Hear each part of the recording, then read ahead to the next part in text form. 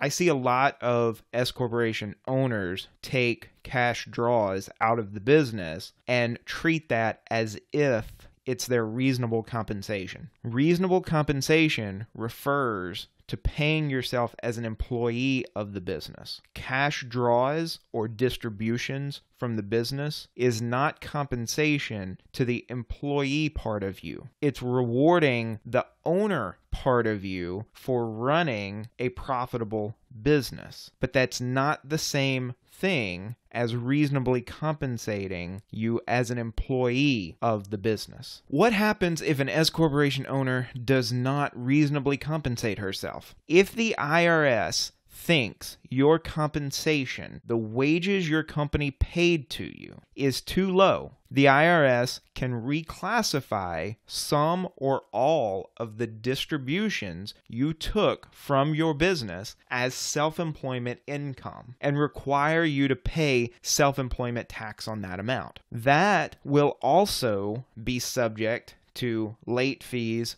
penalties, and interest. So it can become much more than just the 15% self employment tax. We really want to avoid this. Running payroll may seem like a hassle, but it's not nearly as bad as IRS reclassifying all those distributions as self employment income. The entire purpose of the S corporation is to avoid self employment tax. Don't set yourself up for an IRS examination that ends with you owing a lot of overdue self employment tax. Be a responsible S corporation owner, run payroll to yourself, and avoid getting in trouble with the IRS.